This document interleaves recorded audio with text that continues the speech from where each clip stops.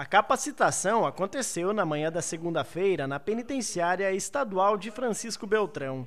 Os agentes penitenciários participaram da palestra sobre primeiros socorros, ministrada pelo médico do SAMU, o Serviço de Atendimento Móvel de Urgência. Suporte básico de vida, orientações, biossegurança, e conhecendo também a logística aqui da penitenciária, entendendo o fluxo e repassando algumas orientações nesse sentido para os agentes e também para a equipe da área de saúde. A ação é fruto de uma parceria entre a penitenciária e o SAMU. Os detentos estão fabricando EPIs. Em contrapartida, os agentes penitenciários são capacitados.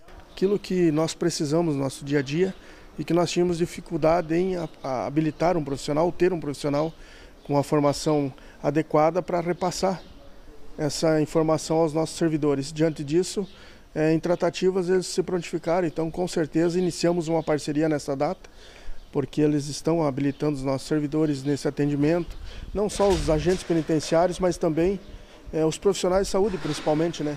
Para ter, nós temos o suporte e nós temos agora o momento também a oportunidade de aprender a como fazer o uso dele.